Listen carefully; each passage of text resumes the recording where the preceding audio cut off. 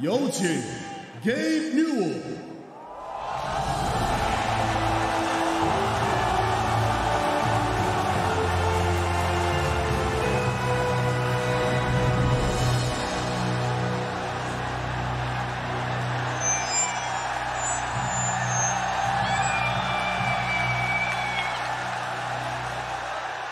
Welcome to the International.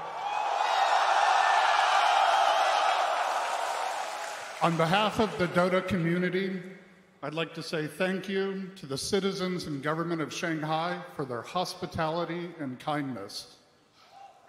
We are absolutely delighted to be holding this year's International here in China.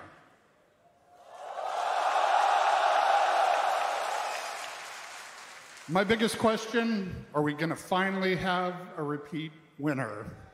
Let's watch some Dota and find out. 谢谢 Shanghai.